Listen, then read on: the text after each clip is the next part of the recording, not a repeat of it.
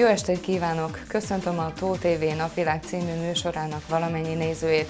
Kérem tekintsék meg mai hírösszefoglalónk eseményeit röviden. Az államalapító Szent Istvánra emlékeztek augusztus 20-án Agárdon, Kápolnásnéken és Velencén. Remek együttesek, tűzijáték, fergeteges néptáncest. Alföldi Tanyavilág Gárdonyban. Retro és Retrománia Velencén. Zászló felvonása az Országzászló téren, ünnepi műsor és kenyér szentelés a 70 éve felszentelt katolikus templomban. Agárd volt a helyszíne a Gárdonyi Városi Ünnepségnek. Agárdon az Országzászló téren kezdődött az ünnepi megemlékezés a zászló felvonással és a himnusz közös eléneklésével.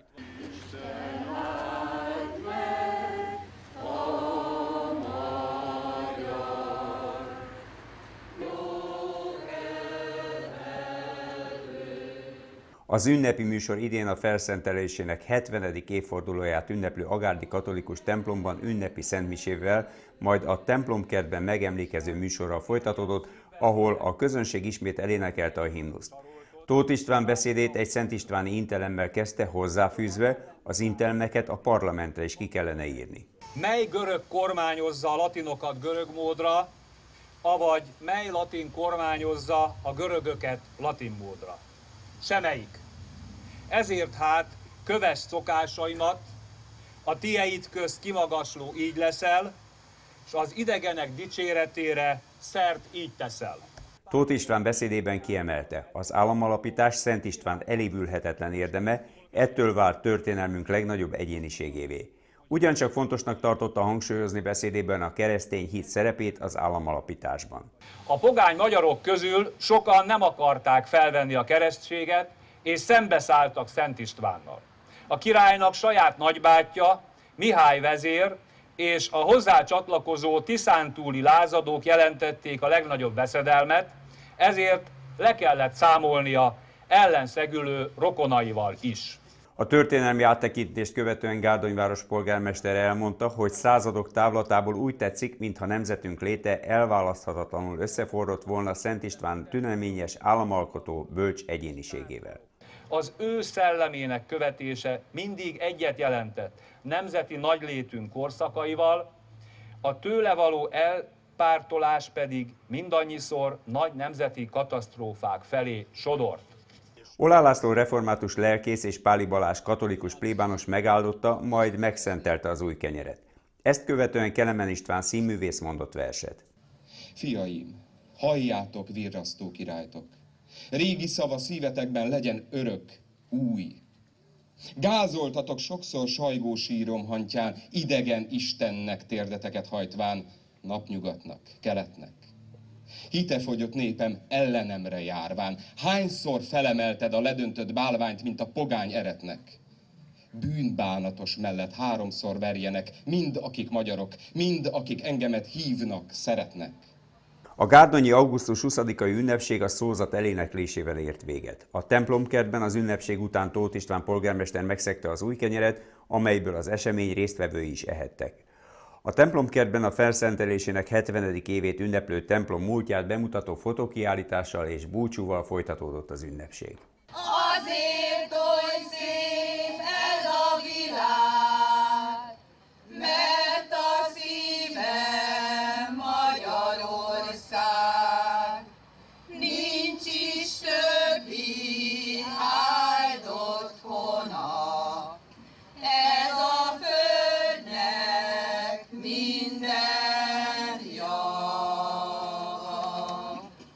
A katolikus templomban tartották az idei Szent István napi ünnepséget Kápolnásnéken. Tóth Béla plébános szavaival kezdődött a kápolnásnéki ünnepi megemlékezés és szentmise. Ezt követően Ulbrich János olvasott fel idézeteket. Nagy gonddal őrizd a szívedet, mert hiszen belőle indul ki az élet. Tartsd távol magadtól a száj hamisságát, távolítsd el az ajkak álmokságát. Egyenest előre nézzen a szemed, legyen egyenes a szemed pillantása. Egyenkes utat, sima utat a lábadnak, legyenek biztosak mind az útjaid. Se jobbra, se balra ne térj le az útról, és a gonosztól tartsd távol a lábad. Ez az Isten igéje.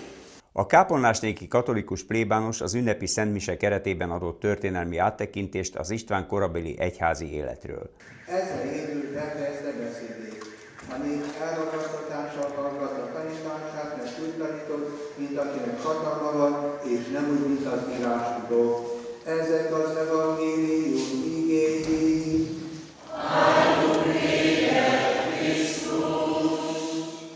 Az ünnepi szentmise végén Tóth Béla plébános megszentelte az új kenyeret, amelyet dr. Farsak Zoltán kápolnásnék polgármestere szegett meg. Diákok műsora és ünnepi beszéd. Méltó körülmények között emlékeztek Velencén az állam alapító nagykirályra, Szent Istvánra. Augusztus 20-a az államalapító nagykirály első István, a magyar alkotmány és az új kenyér ünnepe. Évezredes hagyomány, hogy a gabonaneműek betakarítása után és a nagyőszi munkálatok előtt első nagykirályunkra emlékezünk. Egy nép emlékezete csak azt őrzi meg, azt építi be tudat és hagyomány világába, akit tisztel és szeret. Kevés királyunkkal esett ez meg. Ha valakire, akkor rá érvényes, hogy a tettek, maga az életmű beszél helyette.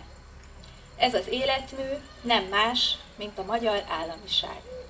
Horváth Dánielné közreműködésével a Zöldiget általános iskola jelenlegi és volt diákjai voltak a szereplői az idei velencei ünnepi műsornak. Ott vagy István király, hol a hadak járnak, vágva széles útját nagy Magyarországnak. Dicsőséges jobbod délre és keletre, vezeti népünket örök győzelemre. Eljötti már Szent Istvánnak tisztelendő ünnepe. Holnap egy ismeretlen nép követei érkeznek hozzád, akik fejedelmük számára koronát kérnek. Add nekik a kész koronát, mert őket illeti. Másnap a pápa előtt megjelent Asztrikapáta kérésével. Uram, István király küldött, hogy áldást és koronát vigyek a mindenkori magyar királyoknak. A pápának eszébe jutottak az angyal szavai, meghajolt Isten akarat előtt, és így felelt. Én apostoli vagyok, István fendelem felim apostol. Íme itt a korona.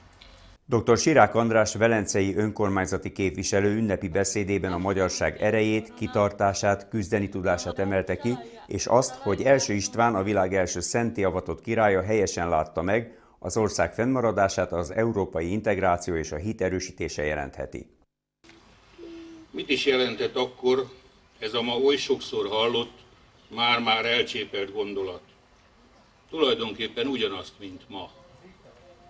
Az akkori politikai helyzet ezerben, ezer egyben az ország alapításához nem volt kedvezőbb a mostaninál.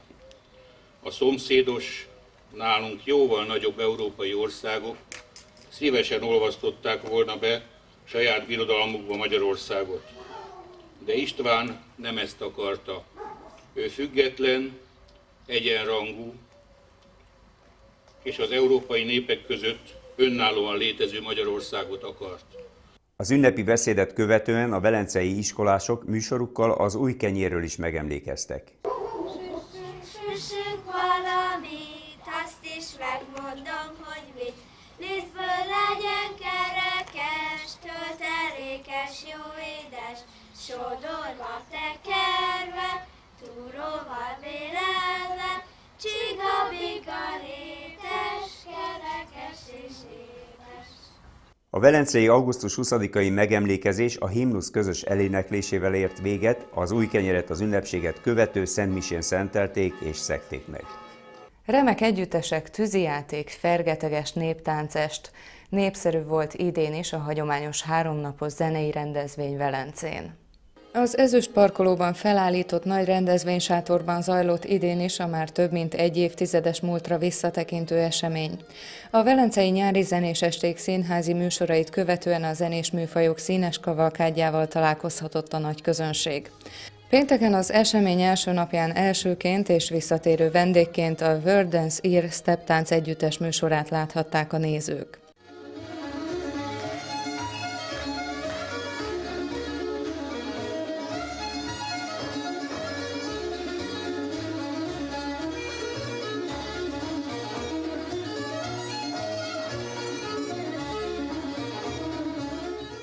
A folytatásban a Velencéhez sok szállal kötődő Vinetú Junior Country Band szórakoztatta a közönséget, míg az estét a rock and roll játszó Classic Beat Band zárta.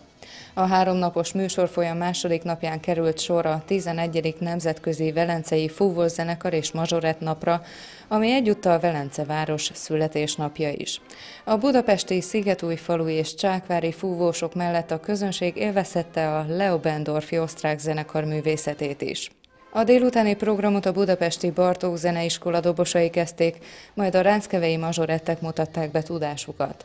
Az esti műsort ezúttal is a megszokott és mindig nagy érdeklődéssel várt felvonulás nyitotta.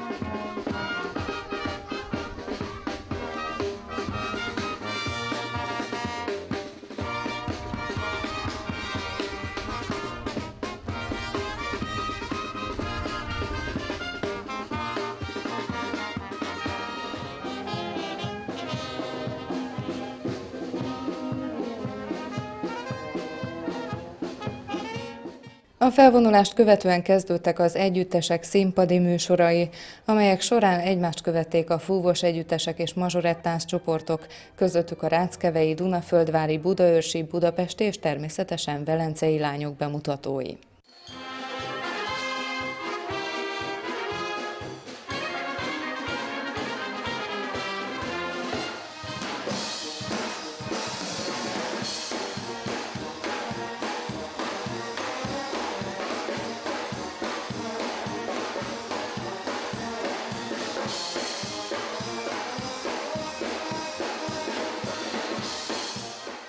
Az estét ezúttal is a már megszokott magas színvonalú, látványos, több mint 10 perces születésnapi tűzijáték zárta.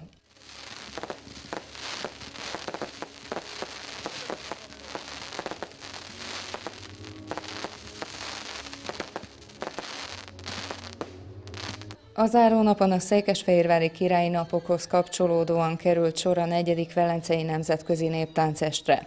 Amint egy háromórás programban a méltán közkedvelt Alba Régia táncegyüttes mellett India, Nepál és Moldova egy-egy együttese is bemutatta tudását a velencei közönség előtt.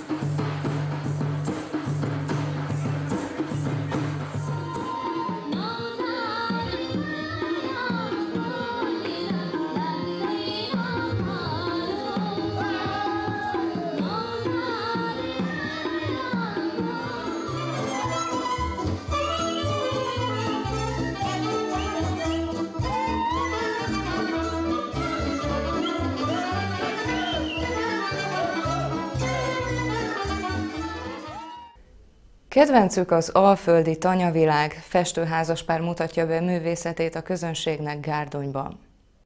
Festőházaspár képeiből nyílt kiállítás a Gárdonyi Géza művelődési házban. A kiállítást Varga László nyitotta meg az érdeklődők előtt. Megnyitó beszédében a családiás hangulatú eseményen méltatta az alkotók munkásságát, ismertette a festőművészek Tóth László és Tóthné Selman Ilona életének fontosabb állomásait.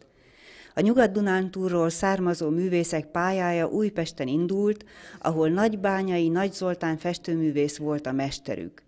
Az alkotóknak már eddig is számtalan közös és egyéni kiállításuk volt pályafutásuk során. Többször hozták már el képeiket Gárdonyba, sok művészetkedvelőnek lettek személyes ismerősei. 57 óta vesznek részt az újpesti közművelődés életében, mint kiállítók. Rendet, rendszeres kiállításokban Újpesten, Verőcén, az OKI tagjai mindketten, és rengeteg kiállításuk volt közösen, és egyéni kiállítás is. A festőházaspál legkedveltebb témája az alföldi tanyavilág. A most kiállított képeiken is ezt csodálhatják meg azok, akik ellátogatnak a tárlatra. A kiállítás szeptember 12-ig tekinthető meg, hétköznapokon 14-től 17 óráig.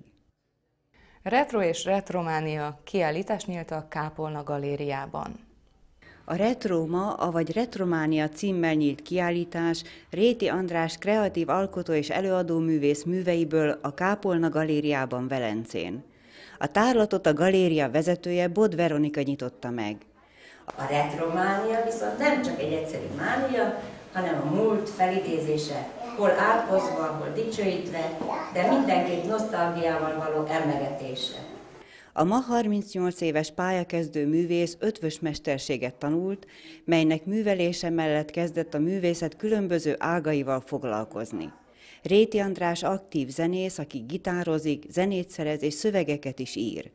Az utóbbi években a régi tárgyak felé fordult a figyelme, egy sajátos technikát és anyaghasználatot dolgozott ki, melynek segítségével a megunt, mások által kidobott tárgyakból önálló műveket hoz létre.